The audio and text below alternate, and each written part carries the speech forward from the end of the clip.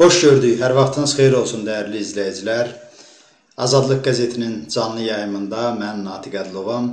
Bugünkü müzakirəmiz, sizinlə söhbətimiz Azərbaycan dövlətinin qurucusu, bizim hamımızın qəlbində iftixarla bir yer tutan Məhəmməd Əmin Rəsulzadə barədə olacaq. Bu gün Məhəmməd Əmin Rəsulzadənin 135-ci il dönümüdür.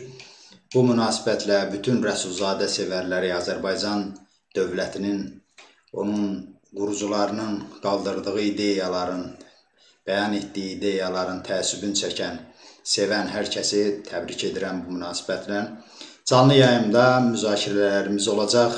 Efirdə mənim WhatsApp nömrəmi görürsüz və bu gün üçün müəyyən etdiyimiz sualları da görürsüz. Suallarımız belədir. Rəsulzadəyə olan qısqanc münasibətin səbəbi nədir? Onun məzarının Azərbaycana gətirilməsini istərdinizmi, istər istəmirsinizmi? Bu barədə fikirlərinizi bizə deyə yaza bilərsiniz. Eləcə də WhatsApp nömrəmizə zəng edib fikrinizi bildirə bilərsiniz. Eyni zamanda Rəsulzadənin Azərbaycanda e, rolunu qiymətləndirməyə çalışacağıq. Bu barədə sizin fikirlərinizi alacağıq. Sizdən bəri başdan xahiş edirəm ki, bu yayımı öz səhifənizdə olduğunuz qruplarda paylaşın ki, daha çox insan burada səslənən fikirlərdən xəbər tutsun. Mənim qısa Rəsulzadə barəsində təxminən 4-5 dəqiqəlik bir e, sujetim var, hazırlamışam verilişdən əvvəl. Onu nümayiş elətdirəcəm sizə. Ondan sonra bu efirdə bizim müzakirələrimiz davam edəcək. Təkrar edirəm, sizin imkanınız olacaq ki, efirdə gördüyünüz WhatsApp nömrəsinə də zəng edərək öz fikirlərinizi bildirəsiniz. Eyni zamanda bu yayım Qəzetimizin YouTube səhifəsində hələlik ki, yayımlanmır. Texniki problem var. Sabahdan onu yoluna qoymağa çalışacağıq. Sizə bu barədə məlumat da verəcəyik. Hələ ki, müzakirələrimiz burada Facebook səhifəsində gedir. Hələlik o sujeti, reportajı izləyək. Sonra mənim bu mövzu ilə bağlı sözlərim olacaq. Ondan sonra isə birlikdə müzakirələrimizi davam etdirəcəyik.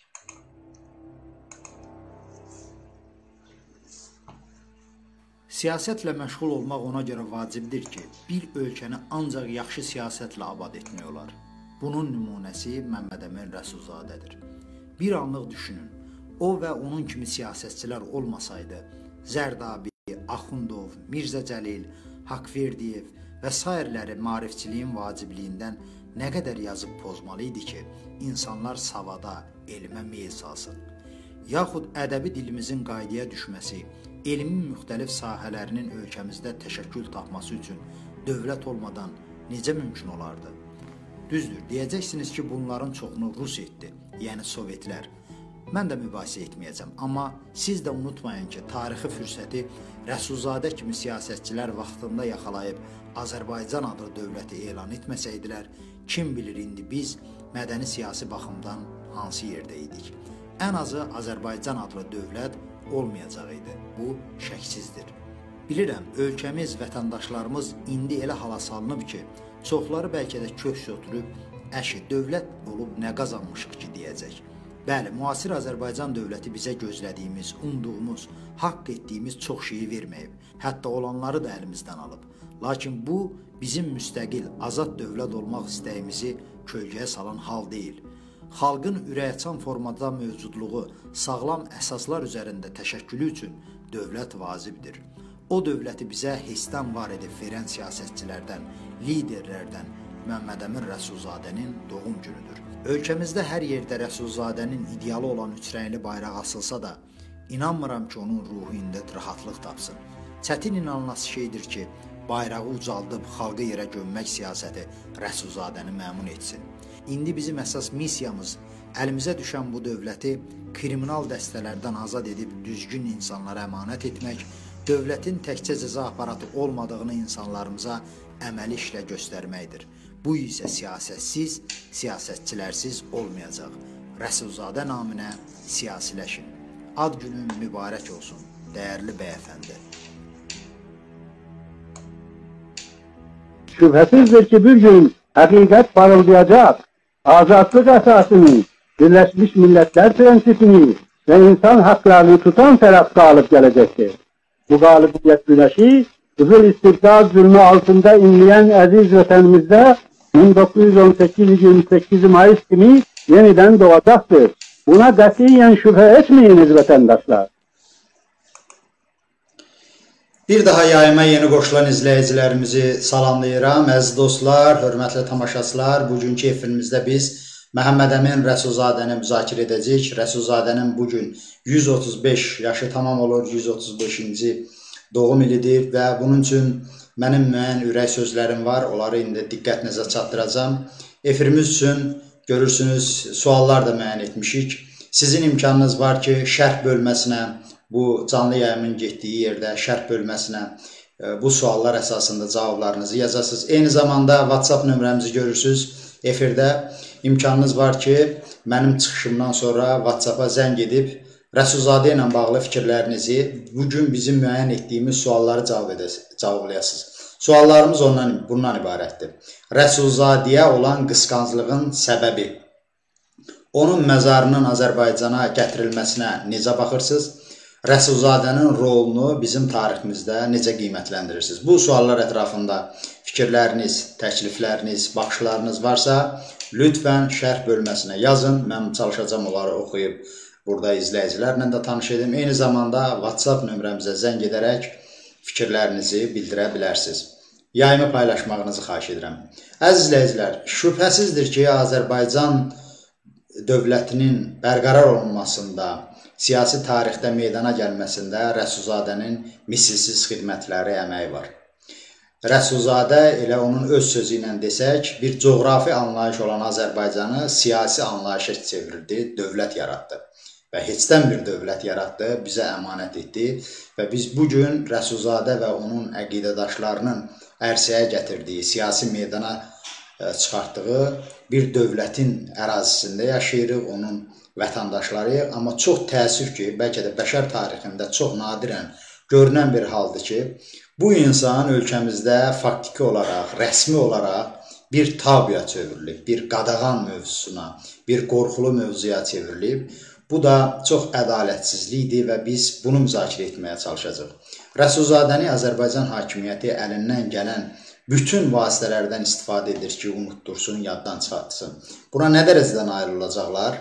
Nail olurlar, bu başqa məsələdir. Tarixi həqiqətlə döyüşmək çox çətindir. Onları müəyyən periodda örtbasdır etmək olar, yaddan çıxartmağa cəhd göstərmək olar, amma onların üzərində qələbə qazanmaq mümkün deyil və Rəsulzadə bunu özü də sübut etdi. Yəni 70 illik Sovet zamanında bütün siyasi nəşrlərdən, rəsmi tarixlərdən o insanın adı silindi və yaxud da xatırlanarkən çox hörmətsiz bir şəkildə xatırlandı. Azərbaycanlılara bu insanı vətən xaini, düşmən kimi təqdim olundu, amma ilk fürsətdə ki, Azərbaycan insanının əlinə azadlıq düşdü, o dəyərlərə sahib çıxdı. Rəsulzadə və onun silahdaşlarının ideyasını dövlət səviyyəsinə gətirdi. Üçrəyli bayrağımızı, himnimizi, gerbimizi bər bərqərar elədi, amma nə edəsən ki, sonradan Azərbaycan hakimiyyəti, Azərbaycan dövləti tamam başqa bir təfəkkürdə olan və əslində elə bina dövrdən Rəsulzadə ilə düşmənçilik aparan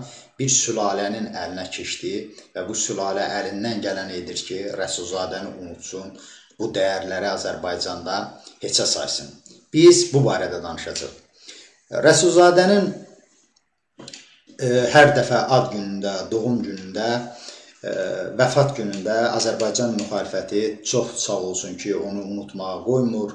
Novxanıya onun abidəsi önünə gedib orada müəyyən bir bayram tədbirləri keçirilir. Bu gün də gediblər Milli Şuranın və başqa müxalif e, cəmiyyənin təəssübkeşləri, tərəfdarları orada öz borclarından çıxıblar, e, nitqlər e, nitqlər söyləyiblər, gül qoyublar. Bunlar hamısı çox yaxşı məsələ məqamlardır, amma biz özümüzə sual verməliyik ki, nə üçün Rəsulzadə kimi insanın anımı ancaq onun doğum yeri olan kəndində qeyd olunmalıdır. Axı Rəsulzadə tək o kənd üçün deyil, bəli o kənddə təvəllüd edib, o kənddə doğulub, o kənddə boya başa çatıb, amma Rəsulzadə bütün Azərbaycanın Rəsulzadəsidir, bütün dəyəridir. Azərbaycanın dəyəridir və Azərbaycanın Azərbaycan olmasında bu insanın danılmaz bir rolu var. Nə üçün bu insan ancaq öz kəndində qeyd edilməlidir, yad edilməlidir. Nəyə görə Bakıdan insanlar yığılıb həmin kəndə gedib bu əlamətlər hadisəni qeyd eləməlidir. Ona görə ki, Azərbaycan hakimiyyətinin kəraməti ucbatından, dırnaqarası kəraməti ucbatından bizim Bakı boyda nəhəng şəhərimizdə Rəsulzadəni anan, andıran, xatırlanan demək olar ki, heç nə yoxdur. Bəli, bir müddət tariximizin bir qısa azadlıq anı oldu ki, Rəsulzadəni xatırladan, andıran müəyyən bir işlər göründü. Bir neçə yerdə onun heykəlləri, abidələri var idi. Onların hamısı İlham Əliyev və Heydər Əliyev dövründə yoxa çıxarıldı, aradan qaldırıldı. Mən istəyirəm ki, onları xatırladaq, xatırlayaq bir-bir. Gənc nəsil proseslərə yeni qoşulanlar bunları bilsin. Rəsulzadənin bir neçə heykəli var idi. Azərbaycan hakimiyyəti onları müxtəlif bəhanələrlə götürüb ləğv etdi, sökdü, dağıtdı, hətta torpağa bastırdı. Mənim yadıma düşənlərdən deyim. Məsələn, Sabirabad rayonunun icra hakimiyyətinin qarşısında Rəsulzadənin yaxşı bir abidəsi var idi. Azərbaycan dövləti onu ən çətin vaxtında, müharibə gedən zamanlarda orada inşa edə bilmişdi. Onu təmir adı ilə yığışdırıb hara atdılar heykəli bilinmədi. Bir neçə il bundan əvvəl Ağcabədidə Rəsulzadənin heykəli yoxa çıxmışdı. Yerli fəallar onun heykəlin hansısa bir e, ərazidə torpağın altından bastırılmış tapdılar. Rəsulzadənin 28 may metro stansiyasının içərisində mozaika formasında hazırlanmış bir rəsmi var idi. Metronun təmir adı ilə onu da oradan yığışdırdılar. Digər yerlərdə indi mən hamısını təəssüf ki, xatırlaya bilməyəcəm. Rəsulzadənin abidələrin bu formada yoxa çıxartdılar. Rəsulzadənin adı Bakı dövlətə verilmişdi və çox təbii olaraq çünki Azərbaycan demokratik hakimiyyətinin dövründə o universitet təsis olunmuşdu və tariximizdə çox böyük rol oynayan bu universitet Rəsulzadə və onun əqidədaşlarının əməyi ilə bizim həyatımıza daxil olmuşdu, amma bu adı da ona çox gördülər. Heydər Əliyevin sərəncamı ilə universitetlərdən adlar yığışdırıldı məhz Rəsulzadəyə görə. Rəsulzadənin adını beləliklə Bakı dövlətdən götürdülər. Amma götürməmişdən əvvəl də bir hadisələr olurdu. Mən onları yada salım. Mən deməli 96-2000-ci ildə Bakı dövlətdə oxumuşam. Mən Bakı dövlətə daxil olanda bizim əsas korpusun girişində Rəsulzadənin bir büstü var idi.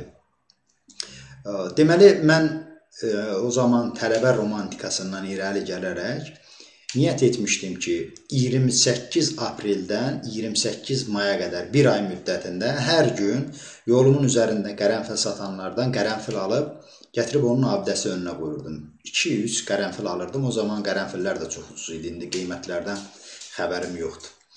Və mən hər səhər bu gülü qoyurdum Dərsdən çıxandan sonra gəlib görürdüm ki, gül yoxa çıxıb.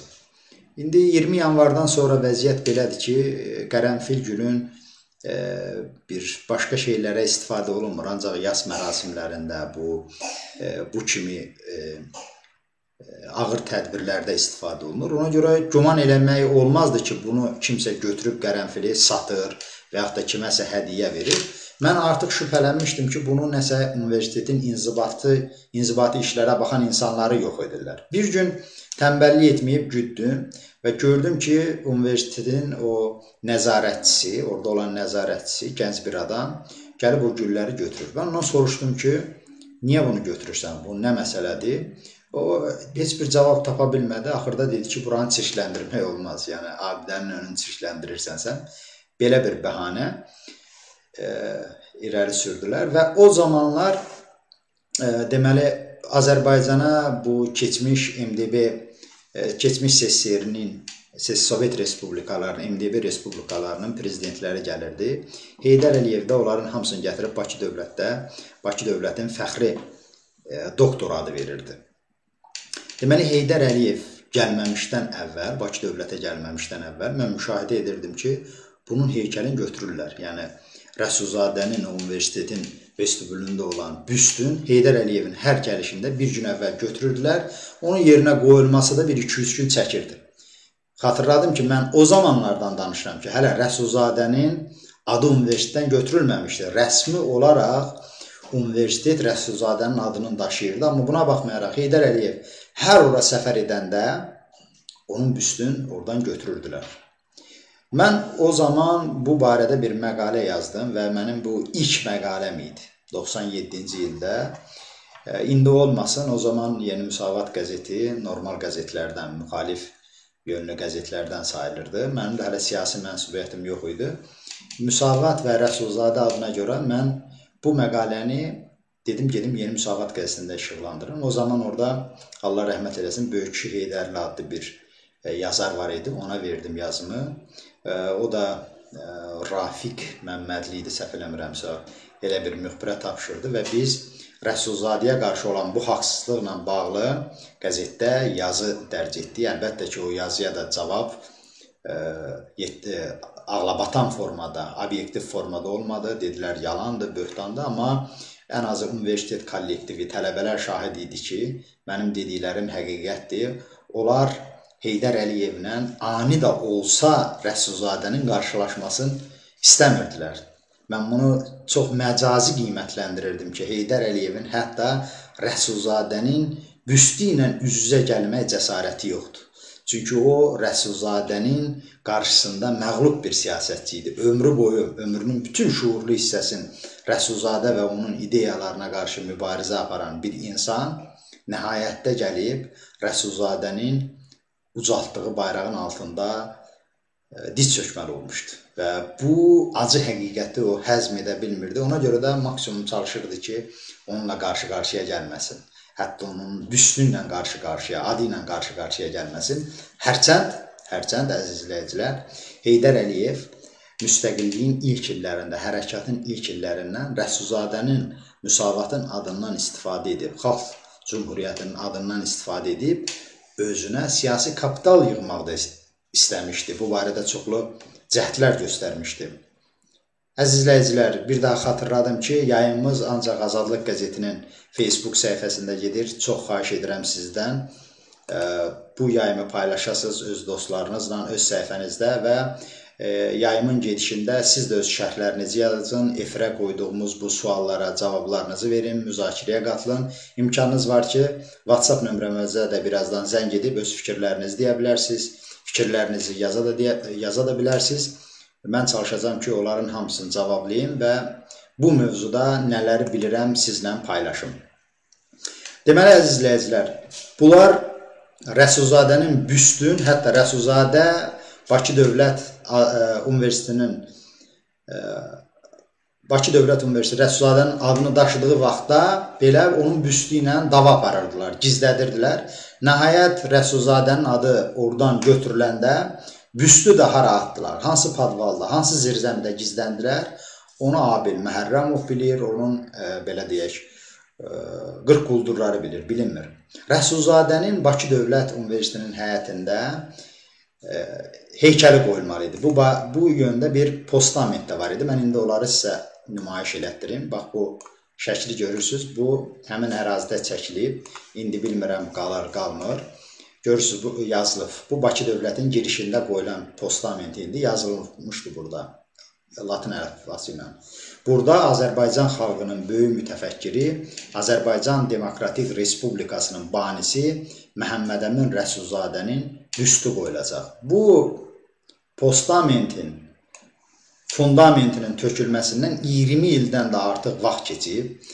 Amma Azərbaycan hakimiyyəti hər tərəfi heykəllə bəzəsə də bu post nə bu postamenti götürə bilir, nə də ki, həmin yerə Rəsulzadənin heykəlini qoya bilir. Rəsulzadənin təkcə burada yox, Kukla teatrının qabağında da eynən sizə bayaq nümayiş elətdirdiyim kimi bir e, postament qoyulmuşdu və bildirilirdi ki, Kukla teatrının önündə də Rəsulzadənin böyük bir abidəsi ucaldılacaq, amma o da ucaldılmadı. Nəinki ucaldılmadı? Günlərin bir günündə xəbər tutduq ki, Hacıbalı Abutalov həmin yeri çəpərləyib, təmir adı ilə, orada funkulyor tikmək adı ilə postamenti də ləğv elədi. O tarixi e, qərarı da ləğv elədi ki, həmin yerə Rəsulzadənin abidəsi qoyulmasın. Beləcə yayındılar. Uzun müddət bəhanələr gətirdilər ki, pul, pul yoxdur, iş gedir, filan gedir. Amma bunlar hamısı yalanlar idi, hamısı böhtanlar idi.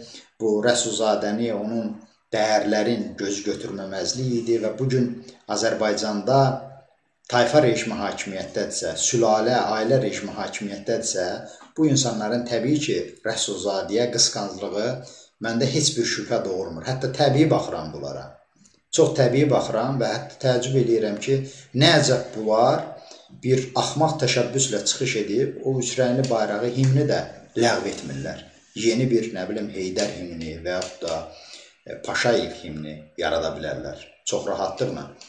Rəsulzadənin adını universitetdən götürsələr də və bunun hə, e, ağlabatan izahı olmasa da bu gün Azərbaycanda Heydər Əliyevin adına nələr var bunu saymayaq. Çünki saysan 1-2 gün efir bizə yetməz. Aeroportlardan tutmuş gəmilərə qədər, küçələrə qədər, muzeylərə qədər, yəni hər yer, hər tərəf Heydər Əliyevdir. Heydər Əliyevin adı Azərbaycanda Azərbaycanın özünün adından çox çəkilir. Nəinki Heydər Əliyev adına məktəblər, küçələr və s. var. Heydər Əliyevin həyat yoldaşı Zərifə Əliyevin adına Bakıda lisey, xəstəxana, təhsil kompleksi və s. həyat yoldaşının adına. Eləcə də Heydər Əliyevin qardaşını Cəlal Əliyevin adına mən bir dəfə oxudum ki, bizim e, şimal zonamızda, Xaçmazda mı, Qusarda mı bir muzey açılıb. Mənə maraqlı gəldi. Dedim, girim bir bu muzeyə baxım, ə, e, saytları var idi. Baxım görüm bu Cəlal Əliyevin muzeyində nələr, nələr var. Heç nə, orada ən yadımda qalan, ən diqqətimi çəkən ə, e, eksponat Cəlal Əliyevin E, çəkməsi idi. Uzun boğaz çəkməsi, sapok deyirik də biz ona. Rezin sapoku idi. Onu muzeydə sərgiləmişdilər. E, çox gülməli, həm də kədərli bir məsələ idi. Təsəvvür eləyin ki, bunlar öz tayfalarından olan adamın çəkmələrin muzeyə qoyurlar. Onun çəkmələri üçün muzey yaradırlar. Amma Rəsulzadə və Xalq Cümhuriyyəti ilə bağlı necə qısqanc bir yanaşma həyata keçirdirlər. Bildiyiniz kimi bir neçə il bundan əvvəl İlham Əliyev start verdi. Azərbay Bakıda və Azərbaycanın rayonlarında bayraq meydanları yaratdı. Mən o bayraq meydanları və bayraq muzeyləri yaratdı. Mən o muzeylərdə də olmuşam bəzilərində. Diqqətimi o çəkmişdi ki, hətta bayraq muzeylərində belə Rəsulzadənin adını o formada göstərirlər, o şəkildə təqdim edirlər ki, sanki bu, yəni sıradan bir insandır, təsadüfən də o cümhuriyyətin qurulmasında ortalarda dolaşan bir insandır. Bəzi yerlərdə şəkil, şəkli də onun elə verilir ki, e, diqqətli izləyici, Rəsulzadəni tanımayan insan olsa, heç bilməz ki, bu odur. Bu dərəcədədir bunların Rəsulzadiyə olan düşmənçiliyi. Biz Azərbaycana səfər edən Gürcüstanın başçısının yəni keçmiş prezidenti Saakashvilinin, eləcə də Türkiyənin indiki prezidenti Rəcəb Tayyib Ərdoğanın parlamentdə ən məşhur çıxışlarını yaxşı xatırlayırıq. Bu o çıxışlar idi ki, hər iki dövlət başçısı Azərbaycan parlamentində Azərbaycan dövlətinin banilərindən Məhəmməd Əmin Rəsulzadənin adını çəkdilər, ona statlar verdilər və bu sosial şəbəkələrdə Azərbaycan cəmiyyətində çox yaxşı bir reaksiya, rəğbət gördü. Saakashvili o zaman o həmin çıxışın öz Facebook səhifəsində paylaşmışdı. Mən dəqiq xatırlayıram ki, o ən çox like, bəyəndim qazanan statuslardan olmuşdu. Çünki e, nə qədər Azərbaycanlı var idi, nə qədər bu işdən xəbər tutan insanımız var idi, hamısı gedib buna görə Saakashviliyə təşəkkür etmişdi, bəyəndim eləmişdi. Eləcə də Rəcəb Tayyib Ərdoğanın zaman-zaman həmin çıxışı sosial şəbəkələrdə paylaşır. Amma taleyin ironiyasına baxın ki, Azərbaycanın qurucusu olan insanın adı Azərbaycan parlamentində çəkilmir. Qonaqlar gəlir, bizim Rəsulzadənin adını bizim parlamentdə çəkir, amma bizim parlament sanki bir-birinə, parlament üzvləri sanki bir-birinə söyüş qoyub ki, Rəsulzadənin adını burada çəkmək olmaz. Elə o parlamentin yubileyi qeyd olunmuşdu keçən ay, e, o bir ay. Onda bunlar hətta Jubleyi yadlarından çıxartmışdılar. Spikerin, mavini spikerin qulağına pısıldayıb dedi ki, bu il parlamentin il dönümüdür. Bəlkə onu bir bir anlıq xatırlayaq. Ondan sonra Oqtay Əsədov özündə təpər tapıb bir cümlə ilə qeyd elədi ki, hə, gəlin Xalq Cümhuriyyətinin parlamentinin yubileyidir. Bunu da qeyd eləyək. Belə bir kədərli, belə bir bəd və izahı çətin olan situasiyanın içərisindəyik. Bu onun e, əlamətidir ki, Azərbaycanda milli hakimiyyət yoxdur. Biz tez-tez deyəndə ki, Azərbaycan işğaldadır, Azərbaycan antimilli qüvvələrin bu ölkəyə düşmən kəsilən insanların işğalı altındadır. Bəzilər deyir ki, çox ağ eləyirik, mübaliğə edirik. Əslində həqiqət budur. Kim indi hansı arqumentlə əsaslandıra bilər ki, niyə Rəsulzadənin Bakıda şəhərin mərkəzində bir abidəsi, bir heykəli yoxdur. Mən heykəl sevərlərdən deyirəm, yəni Heydər Əliyevin bu heykəllərinin ölkədə e, baş alıb getməsi məni əsəbləşdirir və mən heç də onun tərəfdarı deyiləm ki, o heykəllər hamısı sökülüb yerində Rəsulzadənin heykəli qoyulmalıdır. Yox, Rəsulzadənin ona ehtiyacı yoxdur. Ya hər şəhərdə, hər kənddə heykəlinə də ehtiyacı yoxdur. Sadəcə bu insan bu ölkənin varlıq səbəbidirsə, bu ölkənin siyasi tarixə, dünya tarixinə düşməsində müstəsna rolu olubsa, Azərbaycan dövlətinin, onu idarə edənlərin borcudur ki, bu insana layiqli münasibət göstərilsin. İstər onun adına, istər irsinə layiqli münasibət göstərilməlidir. Rəsulzadənin bir jurnalist, publisist olaraq çox zəngin yaradıcılığı var. Gəlin baxaq, o yaradıcılığa münasibət dövlət səviyyəsində necədir? Onun kitabları necə çap olunur? Hansı şəkildə tədris olunur universitetlərdə, orta məktəblərdə? Orta məktəblərdə bu günləri Leyla Əliyevanın şeiri salınır. Amma Rəsulzadədən nələr salınır, hamımız bilirik. Azərbaycan Xalq Cümhuriyyətinin ensiklopediyası çıxıb 2 cilddən. Mən oxumuşam və o kitab mənim kitabxanamda indi də qalır. Demək, adından bəlli olduğu kimi Azərbaycan Xalq Cümhuriyyətindən bəhs edir bu kitab. 18-20-ci illərdən. Və o dövrdə təbii ki, Heydər Əliyev hələ anadan olmamışdı. O kitaba Rəsulzadədən çox Heydər Əliyev haqqında bölmə salıblar. Düşünün, Xalq Cümhuriyyəti qurulanda da, yıxılanda hələ Heydər Əliyev yox idi. Amma Xalq Cümhuriyyətindən bəhs edən ensiklopediya Heydər Əliyevdən qalaq-qalaq məqalələr salıblar. Bu yetməzmi ki, hətta İlham Əliyevin babası Əziz Əliyevdən də e, həmin e, kitaba, ensiklopediya Rəsulzadədən çox məqalələr, səhifələr ayrılıb.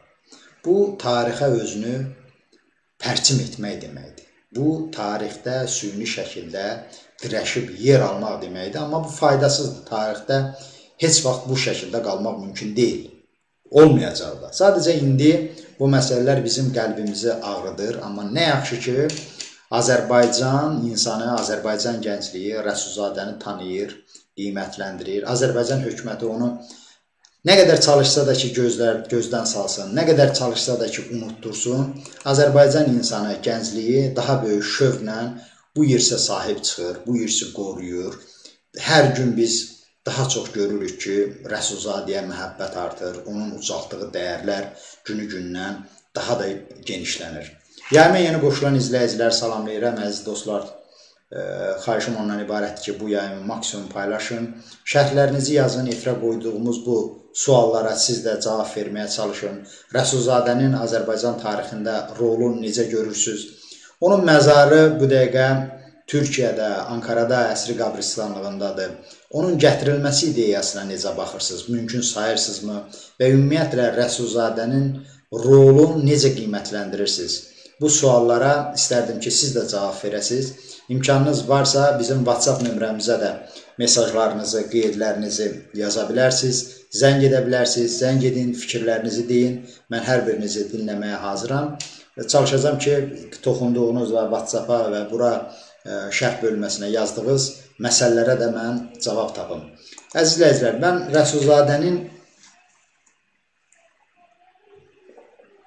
ədəbi irsi barəsində danışdım. Onun 5 cild əsərləri var. Və çox təəssüf ki, bu samballı əsərlərə bizim hakimiyyət öz marağından çıxış edərək diqqət ayırmır. Yəni Rəsulzadənin elə əsərləri var ki, onlar tamaşaya gətirilə bilər, kinoya gətirilə bilər. Elə publisistik yazıları var ki, bu günümüz üçün çox aktualdır, çox vacibdir. Amma onlardan biz televiziyalarımızda nə vaxt müzakirə açıldığını görmüşük. Heç zaman bu mümkün olmayıb. Amma əvəzində nə görürük? Məsələn, mən izləyirəm bu ə, dövlətin dəstəyi ilə dərc olunan kitabları və sairələri. Mirzəlal Paşayevin ə, Sovet dövrü, Sovet ə, so, sosializmlə bağlı yazdığı romanları, hekayələri dayanmadan bir üzdən çap edirlər. Mirzəlal Paşayev bildiyiniz kimi Mehriban Paşayevanın babası düşür. Ortabab Azərbaycan ziyalılarından biridir. Mən tanımıram, amma deyilənə görə belə pis insan olmayıb insan olaraq, amma ədəbi yaradıcılığı ciddi bir şey deyil. Füzuli ilə bağlı olan yaradıcılığın çıxsaq, amma onun e, istər nəsri, istər hekayələri ciddi dişə gələn bir şey deyil. Yəni dünya çapında, ümumiyyətlə Azərbaycan çapında bir şey deyil və çox qəribədir ki, bu insanı yenidən müstəqil Azərbaycanın az qala memarı kimi təqdim edirlər. Azərbaycan tənqidçiləri, bəzi ədəbiyyatçıları utanmadan onu yeni dövrün az qala bir qələm adamı kimi təqdim edirlər. Və kitablarını da durmadan çap edirlər. Ən maraqlısı budur ki, həmin kitablarda Müsavat hökuməti, Rəsulzadənin qurduğu hökumət pis formada aşağılanır, təhqir olunur. Görün indi biz hansı e, şəraitə düşmüşük? Rəsulzadənin düşmənləri, Rəsulzadəni sinifi düşmən görən, burja nöşəri görən insanlar və onların nəvələri bu gün hakimiyyətdədir və Rəsulzadənin bayrağı altında onun adını daşıyan, e, onun adını siyasi cəhətdən Azərbaycanın adını qoyan bir insanın ölkəsində o ölkənin pulu ilə yenə də o o dəyərləri, o insanları aşağılayan adamların kitablarını nəşr edir, tamaşalara çıxardır, insanlara yayır, insanlara tərənnüm etdirilir. Amma Rəsulzadəni yenə də kölgədə saxla saxlamaq istəyirlər. Yenə də istəyirlər ki, bu insanı unuttursunlar. Bunun əsl səbəbi ondan ibarətdir ki, Rəsulzadə bir simvoldur. Rəsulzadə Azərbaycanda e, bu gün müxalif düşüncəni sementləşdirən, bu irtica rejiminə, ailə hakimiyyətinə qarşı səfərbər edən ciddi bir simvoldur. Ona görə Azərbaycan hakimiyyəti onun adını hər yerdən silmək, süpürmək istəyir. Bunların bir tarixi keçmişli, keçmiş narahatçılıqları var. Çünki bunların babaları, ataları Rəsulzadə ilə düşmən olublar. Tanımadığı halda ideoloji bir düşmən olublar. Ömrü boyu ona qarşı mübarizə aparıblar, amma tarixi situasiya elə gətirib ki, ədalət öz yerini tapıb. Rəsulzadənin tərənnüm etdiyi dəyərlər, ümumbəşəri dəyərlər qalib gəlib, bunların müdafiə etdiyi dəyərlər məğlub olub, iflas olub İndi bunlar nə əl aşından doyurlar, nə vəl aşından. Həm istəyirlər ki, cümhuriyyət sevdalısı kimi qalsınlar, həm də o keçmiş irslərindən imtina etməsinlər. İmtina yenə də o Mirzəlal Paşayevin, Heydər Əliyevin, kommunist rejimi haqqında, Lenin haqqında, Brejnev haqqında dediyi sözlərə də deyirlər insanlar yaxşı desin, desinlər ki, bu dövrün tələbi idi, o zaman belə lazım idi, belə deyilməli idi, lap düz iş görüblər. Həm də indi desinlər ki, müstəqil Azərbaycanın elə memarı, yaradıcısı, ideoloqu bulardır. Amma bu alınmayan bir şeylərdir və bu yanaşma təkcə Rəsulzadəyə ziyan törətmir. Rəsulzadə vəfat edib gedib və onun heç e, umrunda deyil ki, Azərbaycan hakimiyyəti ona qiymət verəcək, verməyəcək. Bu bizim üçün lazımdır. Azərbaycan üçün lazımdır. Azərbaycan dövlətinin inkişafı üçün lazımdır. Bütün dövlətlərin tarixinə biz baxsaq və bu barədə siyasi ədəbiyyata baxsaq, dövlətin yaranışı üçün, ayaqda qalması, inkişafı üçün bir mifə ehtiyac olur. Bir mif, bir güclü ideya olmalıdır ki, dövlət, vətəndaşlar ona istinad eləyərək birgələşsin, bir yerdə yaşasın, bir-birini qorusun. Bir çox dövlətlər özləri bir mif uydurur. Özləri bir hekayət, özləri bir olmayan tarix uyduraraq dövləti onun üzərində inşa edirlər. Amma bizim əlimizdə nə nağla, nə əsatirə ehtiyac yoxdur. Gözəl bir əlimizdə baza var, res var, Rəsulzadə və onun silahdaşlarının qurduğu cümhuriyyət çox ağır bir şəraitdə heç nədən bir dövlət qurulub və o insanlar hər bir böyük qəhrəmanlıqlar göstərib və həyatları da məhrumiyyətlə başa gəlib, ailələri qurban gedib, özləri qurban gedib, repressiya olunublar, əziliblər, ölkələrindən dərbədər olublar. Çoxsunun qəbri Azərbaycanda belə deyil. Bizim baş nazirlərimizin, Rəsulzadənin özünü daxil olmaqla. Ailələr də ümumiyyətlə qurban gedib.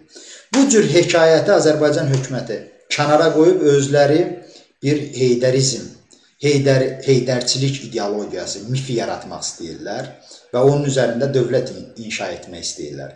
İndi sizlərə elə gələcək ki, mən öz-özümü təksib elədim. Çünki biraz əvvəl özüm dedim ki, hətta bir çox dövlətlər e, heç nədən bir mif, bir nağıl uydururlar və onun üzərində dövlət inkişaf edirlər. Bu heç də pis bir şey deyil. Yəni siyasi fəlsəfəni oxuyanlar, bu barədə ədəbiyyatla tanış olanlar mənim dediklərimi təsdiq eləyəcəklər. Onda siz mənə deyə bilərsiniz ki, Natiq, əvvəl dediyin söz nə idi? Bu dediyin söz nədir? Bugünkü hakimiyyət də bir mif uydurur da, Heydər mif uydurur, onun üzərində dövlət yaradırlar. Bəli. İndikilər də uydurur, amma mən dediyim mif xalqın qanına, canına, koduna oturmalıdır.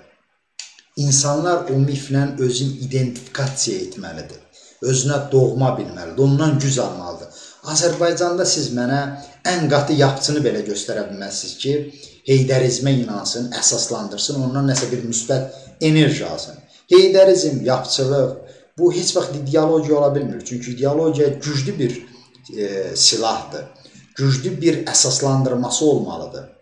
İnsanlar ondan enerji almalıdır. İnsanlar ondan ə, necə sadə deyək ki, ruhi təmasa girə bilməlidir. O ideya insanları mənən silkələməlidir, mənən gücləndirməlidir. Heydərizmdən, yapçılıqdan insanlar hansı impuls ala bilər? Hansı qüvvəni ala bilər? Kim o ideya üçün özün fəda eləyə bilər? Yeni Azərbaycan Partiyası hazırın naziri olan bir partiya olub. Heç bir fədakarlıq Azərbaycanın qurulmasında, qorunmasında heç bir rolu olmayan bir təsisat olub. Heydər Əliyev hazıra nazir olub və e, Azərbaycanın yeraltı, yerüstü sərvətlərinin öz yaxın çevrəsinə, ailəsinə xərcləməkdən başqa bir iş görməyib. Hərçənd dediyim kimi zamanlar var idi ki, o zaman ki Heydər Əliyev hələ dövlət hakimiyyətini tam ələ keçirməmişdi. Rəsulzadə irsindən, Azərbaycan Xalq Cümhuriyyətindən çox sui-istifadə edirdi öz təbliğatında. YouTube-da bizim izləyicilər tapıb e, baxa bilər. Heydər Əliyevin Naxçıvanın Nehrəm kəndində bir çıxışı var. Heydər Əliyev orada Ayaz Mütəllibovu tənqid edir. Ayaz Mütəllibov haqqında deyir ki, mən bu yaxınlarda Bakıya getmişdim. E, efirimizə zəng gəlib, mən onu qəbul edim, söhbətimizi davam edəcəm. Alo. Alo. Axşamınız xeyir olsun bəy, buyurun eşidirik sizi.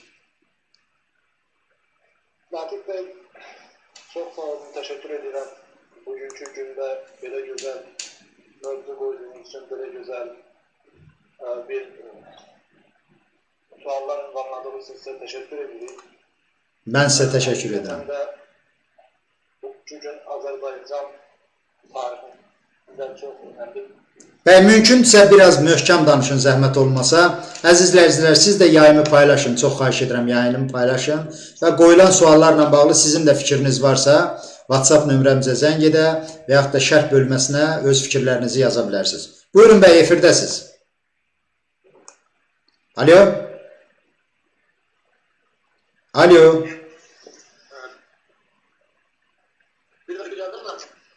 Buyurun, buyurun, eşidirik. Bu səsim yaxşı gəlir. Qismən.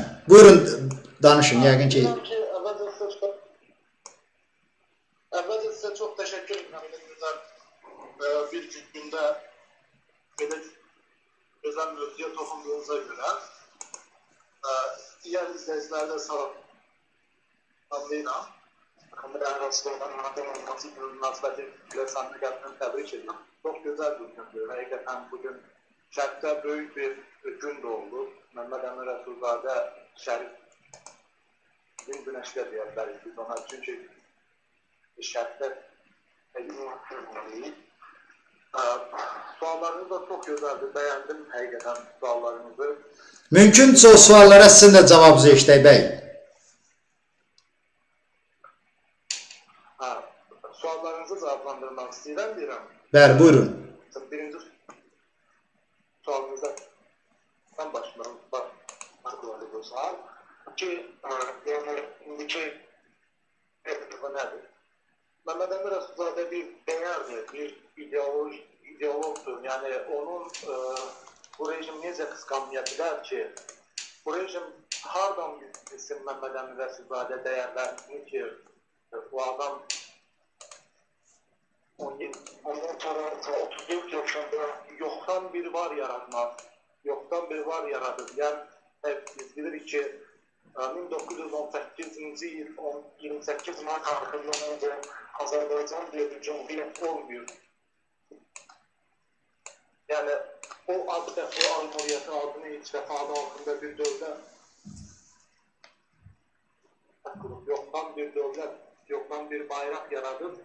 Bu yan hakimiyeti, yan ve hakimiyeti getiren bir adamlar ve etrafına ancak öz tohum əqrabalarını toplayan bir hakimiyet, korrupsiya, rüşvet, hə, vətənə, millətə, hansı hakimiyyəti qəsd eləmiş insanlar Məhəmməd Əmir Rəsulzadə dəyərini necə anlaya bilərlər? Bunların məncə qısqanclığının başında ancaq bu durur. Doğru. Bunlar anlamırlar ki, ə, vətənə, millətə xidmət nədir? Bunların o ideologiyasında o yoxdur. İdeologiyasında bunların ən böyüklər o bunun örnəyini qoydu, nümunəsini qoydu ortaya ki, vətənə, millətə, xalqa necə var yaratmaq olar? Bu dəyərli izləyicimiz, əziz dostlar, çox e, yaxşı sözlər deyirdi, amma təəssüf ki, e, səsi qırıldı və çox pis eşidilirdi. Ümid edirəm ki, e, nələrsə eşidə bildiniz və bizim izləyicimizin bildirdiyinə görə bu tayfa klan hakimiyyəti, bu korrupsioner rejimin Rəsulzadəyə qısqanclığı başa düşülən təbiidir. Mən də bu fikirlə razıyam. Əziz izləyicilər, mənim e, sözüm yarımçıq qaldı. Mən bildirdim ki, Heydər Əliyev hələ siyasi hakimiyyəti qəsb etməmizdən əvvəl e, Rəsulzadəyə qarşı e, loyal münasibət göstərirdi. Çalışırdı ki, onun adından istifadə edib siyasi kapital yığsın. Bu barədə YouTube-da bir maraqlı video var. O Nehrəm kəndində çıxış edir 91-ci ildə. Deyir mən bu yaxınlarda Bakıya getmişdim. Dəhşətə gəldim ki, hər tərəf Ayaz Mütəllibovun şəkilləri ilə doludur bu dəhşətli bir şeydir. Çünki Bakıda Rəsulzadənin şəkilləri olmalıdır. Sən kimsən ki, öz şəkilləri ilə e, Bakını bu şəkildə bəzəyirsən? Hə, tarixin ironiyasına bax ki, bu gün artıq nəinki kəndlərdə, ucqar dağların ə, e, o hətta heyvanlardan məhrum meşələrində belə Heydər Əliyevin adları ilə, portretləri ilə biz rastlaşırıq. Bu da onu göstərir ki, bu Azərbaycan hakimiyyəti nə qədər riyakardır. İlham Əliyevin biz dəfələrlə çıxışından Rəsulzadənin ünvanına, Xalq Cümhuriyyətinin ünvanına aşağılayıcı sözlər demişik. Yalandan e, belə deyək, İrəvan xanlığının adını bəhanə edib o Cümhuriyyət barəsində e, torpaq satanlar və s. belə ağır ifadələr işlədib. Hərçənd dünyada ikinci belə bir dövlət başçısını mən xatırlaya bilmirəm, tanımıram ki, dövlətin qurucusu, memarı olan insanlar barəsində bu cür tarixi həqiqətləri təhrif edərək fikirlər səsləndirsin. Rəsulzadəyə qısqanclıq münasibəti pərdələməkdən ötürü ortaya atılan bir fikir də var. Mən onunla bağlı da öz sözümü deyəcəm. Amma bir də xatırladım ki, bu Ekranda gördüyümüz bizim WhatsApp nömrəmizdir. Siz də zəng edib fikirlərinizi, rəylərinizi deyə bilərsiniz. Ora yazılan rəyləri mən oxuyuram. Çalışıram ki, o barədə fikirlərimi deyim. Amma birbaşa sizin ə, e, zənglərinizi də biz qəbul etməyə hazırıq. Amma çox xahiş edirəm ki, zəng edəndə birinci kompüterin səsini alın. İkincisi elə bir yerdən danışın ki, dalğanız güclü olsun ki, səsiz yaxşı gələ bilsin. Əziz izləyicilər, e, Azərbaycan müxalifəti, ictimaiyyət fəallar hər dəfə məsələ qaldıranda ki, niyə görə Rəsulzadəyə bu rejim qısqanclıqla yanaşır. Onun adına muzeylər, prospektlər, heykəllər və s. belə andıran, onu xatırladan şeylər yoxdur. Bəzi dırnaqarası ağıllı iqtidar ideoloqları deyir ki, siz Rəsulzadəni şişirdirsiniz. Rəsulzadə o dövləti tək qurmayıb ki, onun başqa onunla birgə də liderlər, insanlar olub, hətta ondan da güclü siyasi liderlər olub. Bəli, Rəsulzadənin doğrudan da qüvvətli, çox güclü siyasi əqidədaşları olub. Mən soruşuram, bəs onlara siz niyə qoymursunuz heykəl? Yaxşı, Rəsulzadəni sevmirsiniz. Sizin düşüncənizə görə Rəsulzadə həmin əqidədaşlarından aşağı səviyyədə olan insandır. Bəs niyə görə Fətəli xan Xoyskinin bir abidəsi yoxdur? Topçubaşovun niyə bir abidəsi yoxdur? Bizim baş nazirlərimizin niyə abidəsi yoxdur? Niyə ümumiyyətlə xalq cümhuriyyətin bizə xatırladan, bizə göstərən, nümayiş etdirən bir abidəni Bakıda qoymurlar? Son illərdə Heydər Əliyevdən kənar bir neçə müğənninin Azərbaycan hakimiyyəti heykəllərin, abidələrin qoyub Bakıda. Mən onlara qarşı deyiləm. Qoy olsun. Dünyanın bir çox tanınmış şəxslərinin də abidələri e, qoyulub Bakıda. Bu da normaldır, olmalıdır. Eləcə də sənət adamlarının, sənətkarların, e, nə bilim, aktyorların falan, bunların da abidələri, adları andırılmalıdır. Azərbaycanın bu mədəni irsidir, incə sənətdir. Amma bu dövləti yaradan insanlar da yaddan çıxmamalıdır axı. Niyə görə olunmur bu? Təkrar edirəm. Bunlar deyirlər ki, Rəsulzadə o dövləti tək qurmayıb.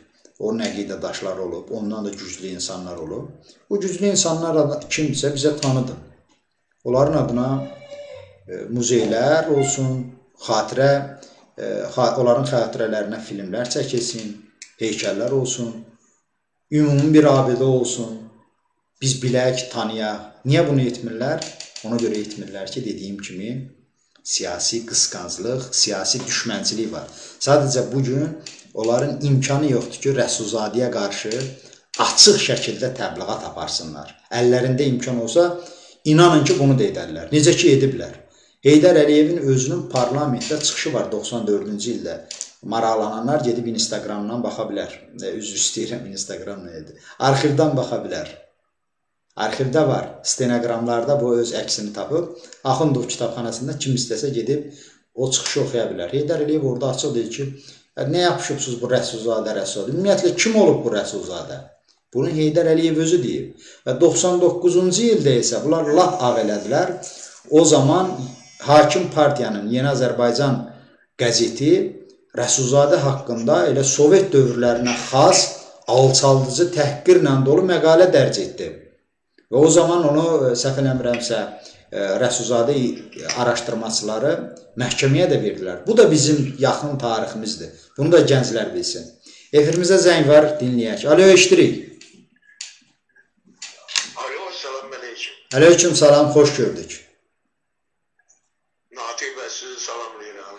Aleyküm salam. Mədəmin Rəsulzadəni sevənləri, e, onun yolu ilə gedənləri təbrik edirəm. Onları da salamlayıram. Təşəkkür edirəm. Təşəkkür edirəm. Mən Natiq bəy. Rəsulzadəyə bu Heydər Əliyev hakimiyyəti əlbəttə qısqanmalıdır. Çünki Rəsulzadə bir dəyərdir. Rəsulzadə bir Azərbaycanın yaradıcısıdır. Azərbaycan adında bir dövlətin yaradıcısıdır. Bu hakimiyyət, bu rejim bu dövlətin talançısıdır. Necə rəğbət bəsləyədilər, necə qısqanmayadilər. Yəni e, onun məzarının Azərbaycana gətirilməsi ancaq e, belə deyək də, mən bu hakimiyyətin gətirilməsini nə deyim? Onun məzarı Azərbaycana gələcək inşallah. Ancaq Yəni istərdiniz ki, gəlməyin istərdiniz. Yəni gəlməyin istəyərdiniz də, çünki belə fikir var ki, Türkiyədə vətəndir. Nə vaxtsa Rəsulzadənin məzarı Azərbaycanda olacaq inşallah. Ancaq bu hakimiyyətin gətirilməsini qətələyik. Çünki indi bir dənə mən bir hədis deyim. Buyurun, buyurun. Bir e, mömin adama, insanlar arasında hörmətli olan bir adama gəlib deyirlər ki, e, filan kəsi tanıyırsan da, o adam var. Cəmaatın ona e, rəğbət olmayan bir adam səni təriflədi. Bəli. Bu mömin adam, bu abid adam tez səcdəyə gedir, Allahdan bağışlanma tələb edir. Yanındakılar məhtəl qalır ki, niyə görəsən belə? Axı o adam səni təriflədi. Bəli. Dedi, yox, mən hardasa bir pis iş görmüşəm ki, o pis adamın xoşuna gəlir. Yaxşı fikir. Məni tərifləyir. Mən özüm də bilmədən. Yəni ki, ə, əgər bu hakimiyyət, bu Rəsulzadəni e, belə e, irsin davam etdirsəydi, onun haqqında e, belə deyək də tədris materiallarında, televiziyada verilişlər hazırlasaydı. Demək, bu da hardasa Rəsulzadəyə layiq bir hökumət kimi göstərər. Çox doğrudur, mən razıyam. Yaxşı qiyməti Bəli. Məntiqi cəhətdən fikirləşəndə bəy, ən yaxşı qiyməti elə bunların buna verdiyi bu qiyməti.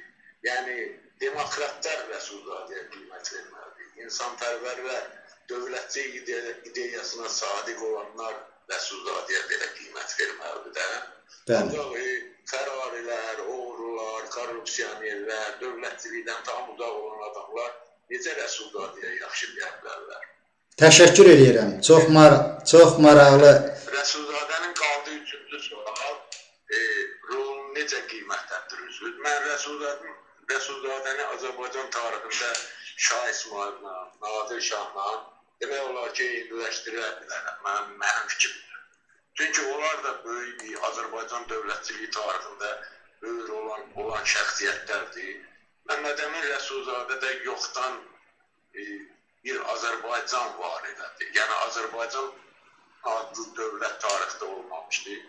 Rəsulzadə onun bayrağın, üç raylı bayrağın bir dəfə qalxızıb dedi ki, bir kərə qalxan bayraq bir daha enməz. Çox təəssüf ki, indi həmin bu dediyimiz korrupsionerlər e, həmin bayrağı ötürürlər, belə deyək də, məcbur qaldırırlar. Ancaq bəzən o bayrağa, o himnə qısqanclıqlarını da dilə gətirirlər zaman zaman. Yəni imkanı olsa onu da dəyişdirərlər. Təşəkkür. Mən Sabirabadlıyam. Bəli. Sabirabadda da Rəsuldadənin Bəli, biz dedik onu, mən efirdə dedim, icra hakimiyyətinin qabağında bir abidəsi var idi. Açığı qoyulma tarixini xatırlaya bilmirəm. Mümkündürsə siz onu xatırlayın. Hə, 93-cü ildə qoyulmuşdu və onun e, postamentində, betonun içərisində. Yəni Sabirabadda Milli Azadlıq Hərəkatında fəal iştirak edənlərin adları var. 1911-ci ilə qədər orada idi. Bəzi 2011-ci ilə qədər. e, var. Hə, 2011-ci ilə qədər üzr istəyirəm. Yəni o vaxta qədər də, yəni 31 yanvarda bir ayda da buradakı fəallar e, Novxanıya getmirdilər. Burada onun yubileylərin ad günü qeyd edirdilər. Yəni Respublika günü, bir də Rəsulzadənin ad günü. Çox təəssüf ki, e, indi Sabirabadın icra başçısı Nazim İsmailov gələndən sonra deməli həmin meydanı e, hasarladı ki, əgər onu birdən-birə götürsəydi, yəqin ki, Sabirabad cəmaatı hiddətlənərdi. Hasarladı təmiratı ilə 2-3 ay hasarda qalandan sonra məlum oldu ki, həmin heykəl götürülür və onu iki yerə bölüb aparıb şəhər icra hakimiyyətinin zirzəmisində gizlənir. Əzlaflığa bax, yəni şəhərin başqa bir yerinə qoymağa da hətta ürəkləri gəlmir. Hə, sonra cəmaatı belə sakitləşdirmək üçün deməli icra hakimiyyətinin e, işçiləri, bir də güya o dırnaq arası ağsaqqallardan bəyanat verdirdilər ki, güya o e, Məmməd Əmin Rəsulzadənin heykəli o vaxta qədər orada olan Leninin üstündən düzəlib güya. Bəli. Biri dedi, nə bilim, Məmməd Əminə oxşamır, biz yeniləyəcəyik. Yəni Nazim İsmailovun təşəbbüsü ilə Azərbaycanda tək-tək olan Məmməd Əmin Rəsulzadənin Sabirabadda heykəldə götürülür. Təşəkkür eləyirəm. Çox e, İnşallah nə vaxtsa azadlıq günəşi Azərbaycanda doğacaq. Rəsulzadənin dediyi kimi, bəli. Minnətdaram. E, Çox dəhşətli bir informasiya verdi bax Sabirabaddan izləyicimiz. Məlum oldu ki, Sabirabadda da götürülən o heykəli icra hakimiyyəti sındırıb, gizlədib və bu əzlaflığa belə imza atıblar. Daha bir izləyicimiz var, eşidək. Alo, Salam əleykum, axşamınız xeyir olsun. axşamınız xeyir olsun. Buyurun efirdəsiz. Bizim qoyduğumuz sualla bağlı sizin də fikirlərinizi eşitməyə hazırım. Əziz izləyicilər, paylaşın siz mümkündürsə səhifələrinizdə. Buyurun. Mən bütün Rəsulzadə sevərləri salamlayıram burada. E, böyük şərəf keçirdirəm ki, bu gün Rəsulzadə haqqında e, e, mən də öz fikrimi bildirəcəm. Rəsulzadə haqqında verdiyiniz birinci suallar ki, Rəsulzadənin məzarının Azərbaycana gətirilməsi bu bir vətəndaş kimi mənim də çox böyük, yəni e, arzularımdan biridir. Yəni mən çox razıyam ki, belə bir şey olsun. Amma milli hökumət e, qurulandan sonra yəqin ki, bu baş verər inşallah. Bir də e, rəhmətli Əbülfəz Elçi bəy hakimiyyəti dövründə biz e, əskinazların üzərində e, böyük öndərimizin şəkli var. Ha, mən sizə çox təşəkkür edirəm, dəyərli izləyicimiz. Bunu xatırlatdın, əziz izləyicilər. Artıq görürsüzmü? O el məsələ var gözdən uzaq olan qəlbdən də uzaq düşər. Hətta mən bu efir zamanı unutdum ki, Əskinazın üzərindən də bunlar bir bəhanə ilə Rəsulzadənin adını e, sildilər. Təşəkkür edirəm. Buyurun davam edin.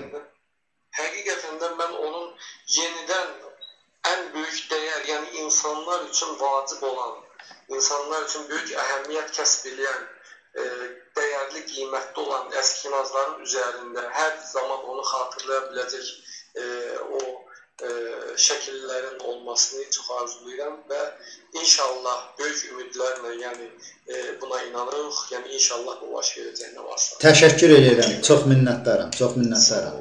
Gecəniz xeyir. Xeyr. Əziz izləyicilər, mən bir neçə şərhləri oxumaq istəyirəm burada. E, deməli, Dəniz Quluzadə adlı izləyicimiz yazır ki, Rəsulzadəni biz gənclərin qəlbindən bu hakimiyyət istəsə də silə bilməz. İnşallah tezliklə yap rejimi gedəcək, Rəsulzadənin nurlu qəbri ölkəmizə gətiriləcək. Daha bir izləyicimiz Sakit Sabiroğlu yaxşı bir şərh yazıb, onu da diqqətinizə çatdırıram. Amma çox xahiş edirəm ki, yayımı siz paylaşın öz səhifənizdə, bəyənin, dostlarınıza göndərin. Qoy hər kəs Rəsulzadə ilə bağlı gəlsin, fikirlərin desin, yazsın, efirimizə zəng etsin bu insanı heç olmaya biz imkan verməyi unutsun, unutdurulsun. Hərçənd bu unutdurmaq çox çətin məsələdir, amma Rəsulzadənin bu gün ad günüdür. Biz bir saatımızı bu insana həsr eləsək, heç nə uduzmarıq. Əksinə bir vətəndaş kimi borcumuzdan çıxmış olarıq. Sakit Sabiroğlu adlı izləyicimiz yazır ki, Rəsulzadə şərqdə ilk cümhuriyyəti quran, millətinə, dininə sadiq, yaradıcı, böyük fitri istedada malik və daim vətən sevdası ilə yaşayan bir kişi olub. Rəsulzadəni maddi olaraq hər yerdən silə bilərlər, amma Azərbaycan insanının, cümhuriyyət sevdalılarının qəlbindən silə bilməzlər. Rəsulzadə mənim üçün bu xalqın lideri və ən böyük ideya daşıyıcısı, ilk millətin bayrağını ucaldan öndərdir. Mənə elə gəlir ki, Rəsulzadənin məzarını yox, onun ideyalarını, yarım qalmış arzularını Azərbaycana gətirmək vacibdir. Rəsulzadənin rolu haqqında nə demək olar? O bizim üçün yaşadığımız dövlətin qurucusu, başımız üstündə dalğalanan bayrağın yaradıcısı və Milli Şura kimi bu gün mücadilə aparan bir qurumun sahibidir. Və məhz bu gün də onun ideyaları ətrafında birləşib mübarizəmi mübarizəmizi aparırıq. Məkanı cənnət, ruhu şad olsun. Bu Sakit Sabiroğlu adlı izləyicimizin yazdığı şərh idi. Mən Sakit bəyə təşəkkür edirəm ki, qəlbdən gələn dəyərli bu ifadələrini, bu sözlərini yazdığına görə. Əziz izləyicilər, Rəsulzadə barəsində ə, e, biz Rəsulzadəyə qarşı bu hakimiyyətin etdikləri nələr olub, o barədə bir xronoloji e, faktları mən sadaladım. Azər İsmail e, bizim izləyicimiz və dostumuz bir status yazıb. E, o daha geniş bəhs edib e, Rəsulzadəyə qarşı olanlardan. Mən indi onun yazdığı statusu buradan oxuyacağam sizə.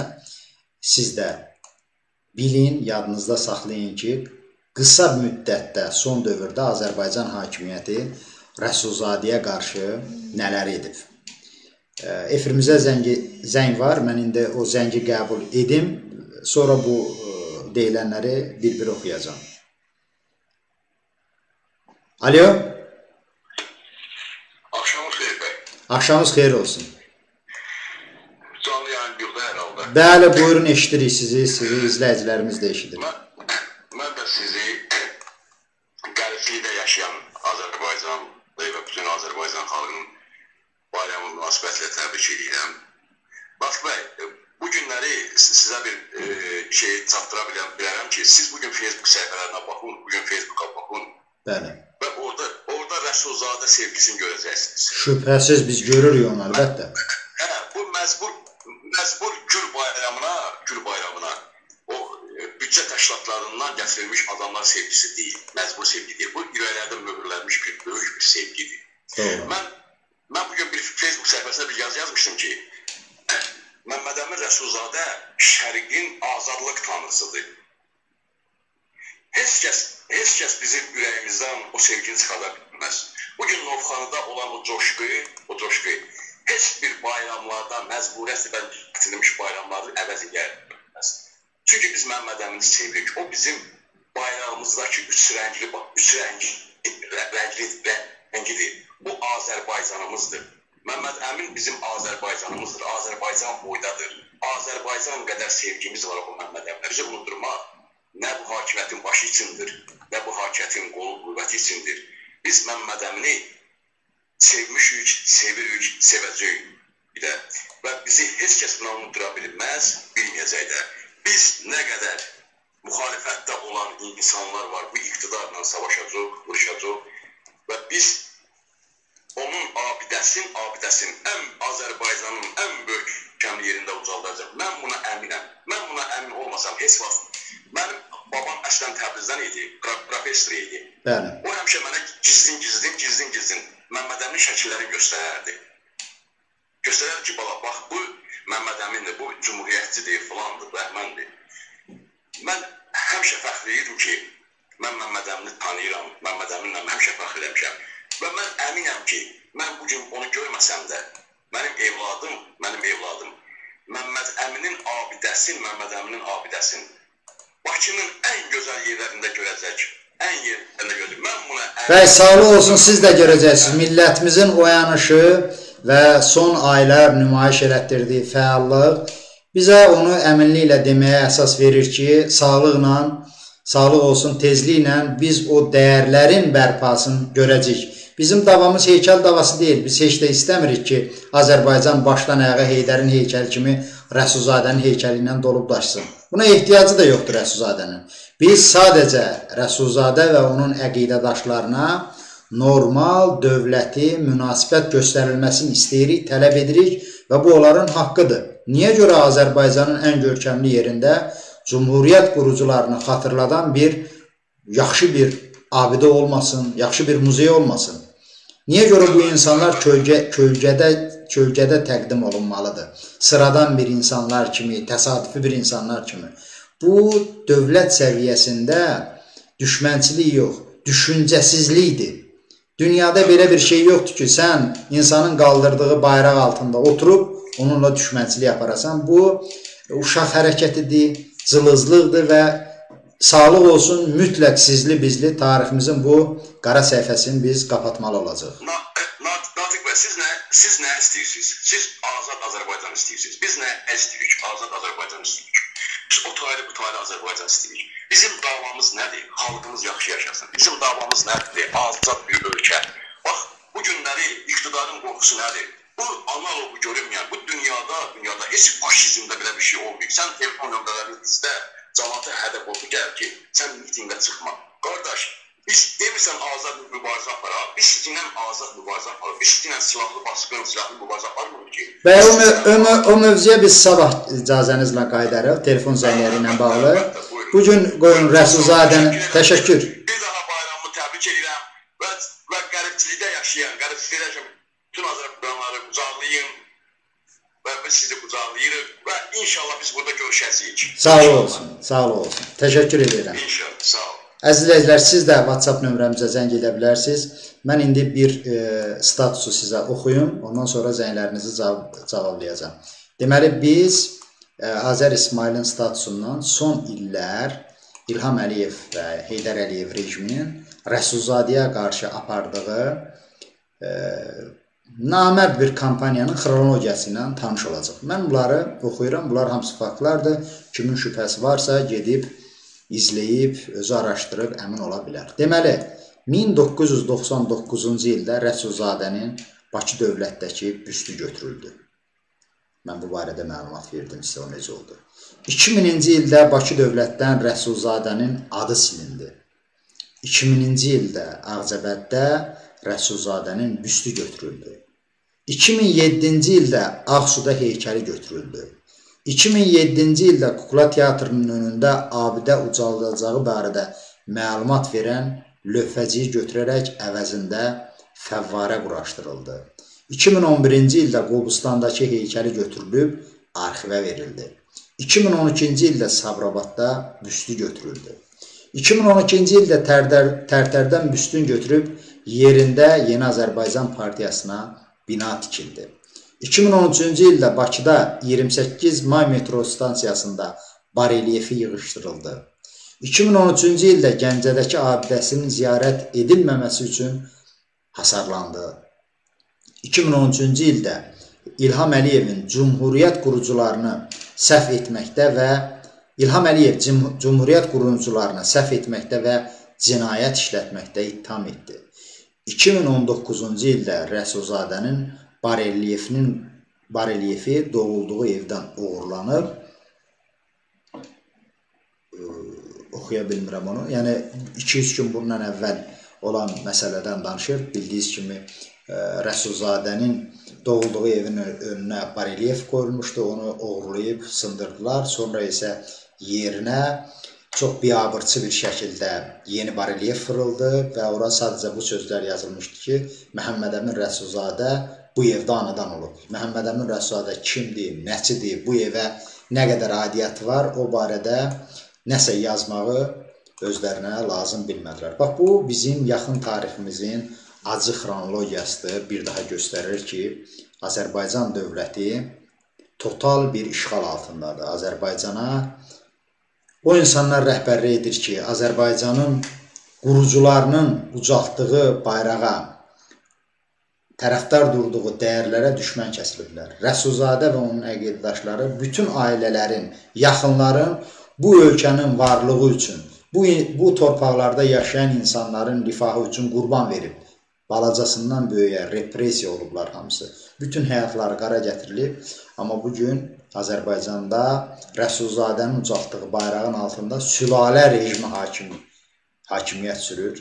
Ailə hakimiyyəti bərqərar olub və bu ölkədən qazana-qazana, bu ölkənin insanlarının sərvətindən oğurlaya-oğurlaya O bayrağı ucaldan insanlara da Rəsulzadə qarşı düşmən kəsiliblər. Onlara nifrət edirlər və nifrətlərini də bu şəkildə bəyan edirlər. Burada şərhlərdə mən gördüm ki, bir nəfər yazıb ki, hər şeyi qara görməyin. E, onu da deyin ki, bu hakimiyyət Rəsulzadə barəsində film çəkib. Əziz izləyicilər, mən o filmlə bağlı xüsusi bir reportaj etmişəm. Çalışacağam ki, yayın bitəndən sonra şərh yerinə qoyum.